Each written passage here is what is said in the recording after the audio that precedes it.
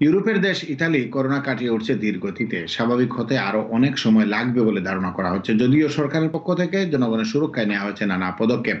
তবে সবকিছু মিলিয়ে ঠিক কতদিন লাগতে পারে এ সংকট মোকাবেলা করে দাঁড়াতে সেটাই এখন দেখার বিষয়।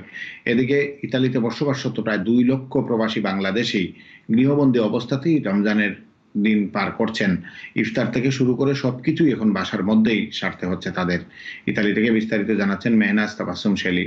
পবিত্র মাহে রমজানের দ্বিতীয় দিনে ইটালিতে অবস্থানত প্রবাসী বাংলাদেশিরা কোয়ারেন্টাইনের মাধ্যমে রোজা পালন করছে। ইফতার পার্টি, জামায়াতের নামাজ আদায় সকল প্রকার জনসমাগম বন্ধ রয়েছে। মাহে রমজান উপলক্ষে বাংলা কমিউনিটির পক্ষ থেকে প্রয়োজনীয় ইফতার সামগ্রী দেওয়া হচ্ছে। তবে ইটালিতে আক্রান্ত ও মৃত্যুর সংখ্যা কমলেও প্রবাসী বাংলাদেশিদের মধ্যে এখনও আতঙ্ক বিরাজ করছে।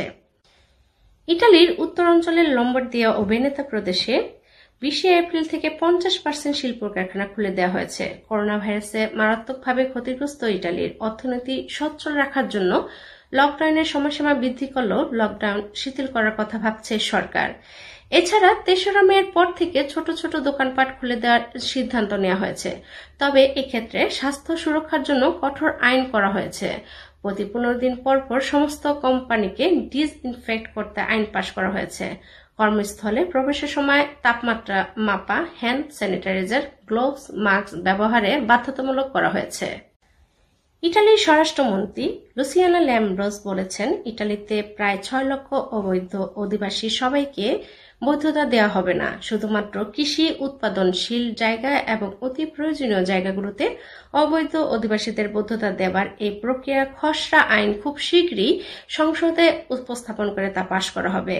একটি তথ্যে জানা যায়, বাংলাদেশে ছুটিতে আটকে পড়া ইটালি প্রবাসীদের ফেরত আনতে অতি শীঘ্রই ইটালিয়ান এম্বাসি কর্তৃক কাতার এয়ারলাইন্সের মাধ্যমে একটি ফ্লাইটের ব্যবস্থা করা হচ্ছে।